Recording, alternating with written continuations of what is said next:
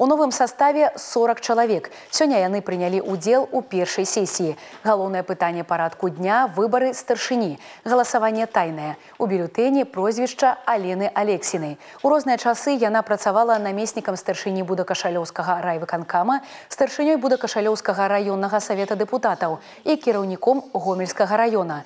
З 2020 года намеснік старшыні гомельскага гарвыканкама. Па выніках галасавання Алена Алексіна аднагалосна абраная кіраўніком Савета дэпутатаў абласнога цэнтра.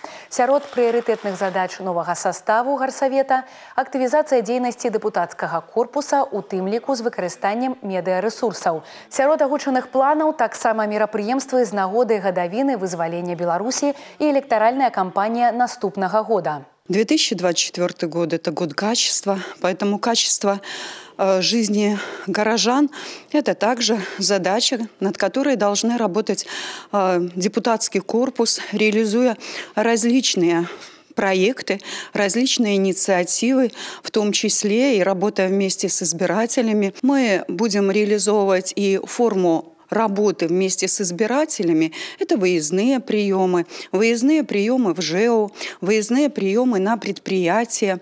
Это единый день депутата. Поэтому достаточно немало форм для того, чтобы депутаты активно заявили о своей гражданской позиции, о своем отношении, о своем патриотизме и вместе объединили избирателей для развития нашего города, для развития нашей области и в целом Республики Беларусь. Над этим мы будем работать.